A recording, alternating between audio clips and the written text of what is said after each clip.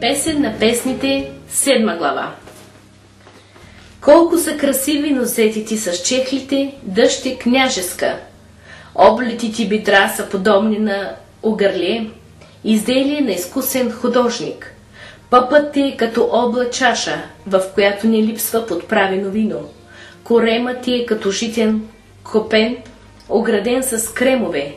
Двете ти гърди са като две сърнета близнета. Шията ти е като стълб от слонова кост. Очите ти са като водоемите в Есебон при портата Бат Рабим. Носът ти е като ливанска кула, обърната към Дамаск. Твоята глава е като гърмил, косата ти като морово. Царят е запленен от кадриците им. Колко си хубава и колко привлекателна, о възлюбена моя в очарованията си! Тази твоя снага прилича на палма, а гърдите ти на гроздове. Казах си, ще се възкача на палмата, ще се хвана за клончетата й и ето гърдите ти ще бъдат като гроздове на лоза и благоуханието на дъха ти като ябълки и устата ти като най-хубаво вино.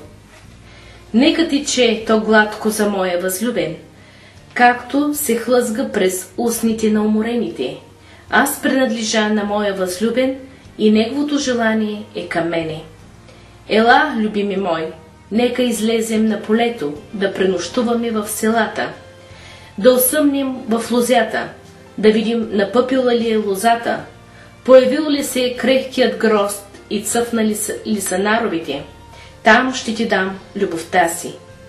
Мандагорите издават благоухание, а до вратата ни има всякакви отбрани плодове, нови и стари, които съм запазила за тебе, любими мои.